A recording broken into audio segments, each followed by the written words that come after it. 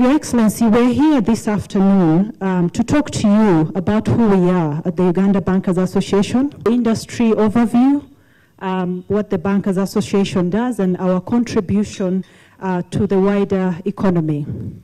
Uh, Your Excellency, would also like um, to showcase the contribution we make um, to the socio-economic contribution of this country, uh, share with you some of the initiatives that we have come up with.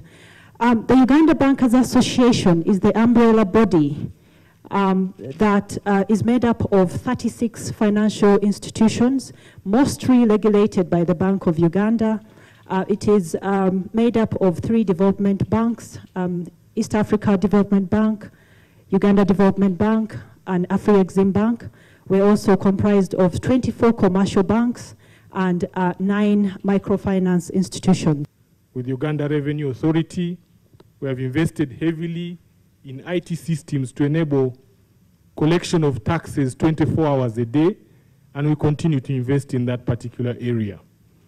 The banking sector alone uh, contributes about 24% across the various services, uh, some, many of which are not profit related.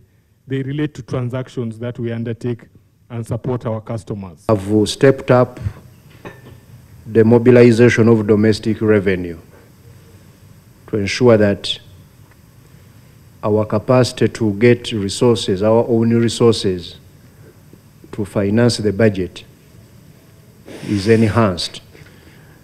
So we are supporting the institutions that collect the revenue, principally URA, to implement our domestic revenue mobilization strategy and it has started to yield results, Your Excellency, despite the challenges we are having now with the economy being hit by a number of shocks. Are, I'm glad that you seem to be seeing, uh, to, once you talk of uh, supporting agriculture, supporting manufacturing, supporting exports, then I think we are beginning to be more aligned with you. The pockets of the Africans we are mainly supporting foreign industries. If you go, if you want to see this, you go and, and, and, and, and get the, the import list from URA, you will see. The, the, the African elite have betrayed Africa.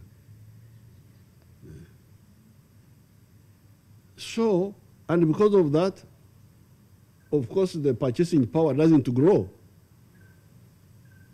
Because the hemorrhage, the hemorrhage is so big, so much. okay, there is some purchasing power, but it doesn't to grow because much of it is flowing out.